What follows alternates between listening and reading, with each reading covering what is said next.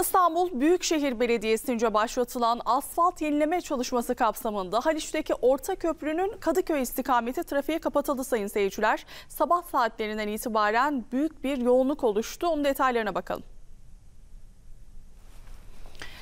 D100 karayolunun Haliç Köprüsü kesiminde asfalt yenileme çalışması yapılıyor. Çalışma nedeniyle Haliç Köprüsü'nün iki şeridi trafiğe kapatıldı. Köprü trafiği yan yoldaki iki şeritten sağlanıyor. Sabah saatlerinde işe gitmek için yola koyulan sürücüler çalışma nedeniyle zor anlar yaşadı. D100 karayolunda yoğun trafik oluştu. Çalışmalar 8 Temmuz'a kadar sürecek. İlk gün metrobüs yolundaki asfalt sökülecek. İşlem tamamlandığında yola yeni ve dayanımı yüksek asfalt serilecek. Çalışma süresince D100 karayolu Haliç Orta Köprüsü'nün Kadıköy istikameti trafiğe kapalı olacak.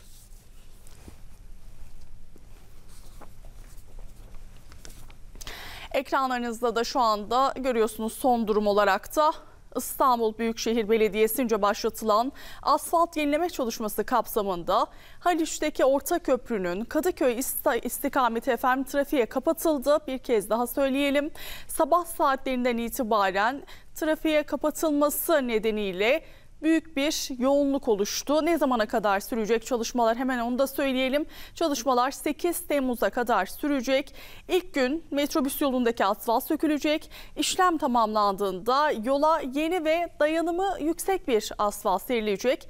Çalışma süresince D100 Karayolu Haliç Orta Köprüsü'nün Kadıköy istikameti trafiğe kapalı olacak. Bilginize.